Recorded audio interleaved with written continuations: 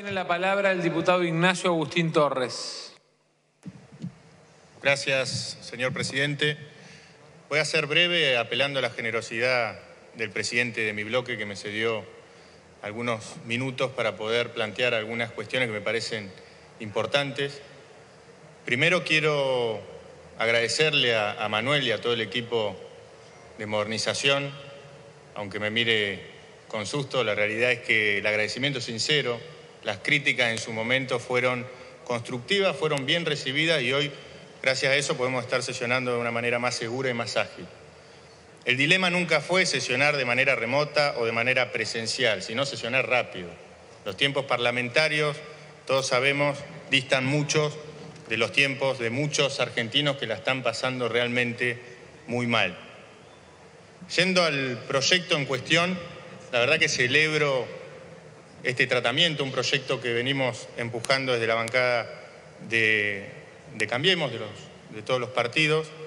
Creo que es eh, satisfactorio el reconocimiento a los trabajadores de la salud que le están poniendo el cuerpo a la pandemia, que están haciendo una verdadera patriada, pero tengo la necesidad también de hacer propia la voz de otros trabajadores que también están haciendo una patriada y que también están levantándose todos los días para ir a trabajar, para poder sostener la producción que motoriza la economía de nuestro país en un momento realmente muy complejo.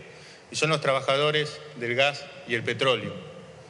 Por eso, respetando eh, los acuerdos de labor parlamentaria, en el próximo tratamiento vamos a proponer con otros colegas diputados que los trabajadores del gas y el petróleo se incorporen a los beneficios que establece esta ley.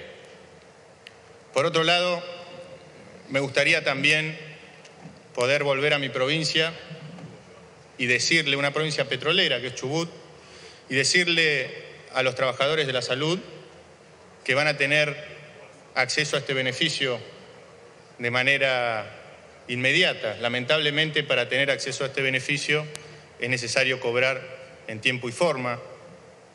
Y en muchos casos, en la gran mayoría de la administración pública, hace más de dos meses que no se está cobrando en tiempo y forma. Y esto involucra a los trabajadores, no solamente de la salud, sino a los docentes, a la fuerza de seguridad, a los jubilados. Hay más de 60.000 familias que la están pasando realmente muy mal. Y por eso queremos presentar e insistir en el próximo tratamiento que también se incorpore la suspensión de las retenciones de los derechos de exportación al petróleo. A diferencia de lo que dijo algún dirigente, esto no es en beneficio de los grandes empresarios del petróleo, sino que es en beneficio de los trabajadores. Y también es en beneficio de los trabajadores de la administración pública y de esos trabajadores que hoy de alguna manera estamos reconociendo. Esos trabajadores que hoy dependen de las arcas de un gobierno provincial que tiene una altísima dependencia de las regalías petroleras y por eso es necesario contemplar una agenda de desarrollo verdaderamente federal, entendiendo que no hay provincias más importantes que otras y mucho menos trabajadores más importantes que otros.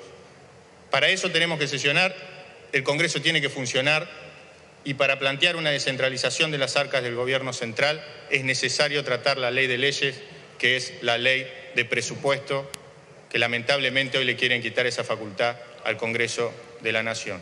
Muchas gracias, señor presidente. Le devuelvo los minutos restantes al presidente de mi bloque. Gracias, diputado. Tiene la...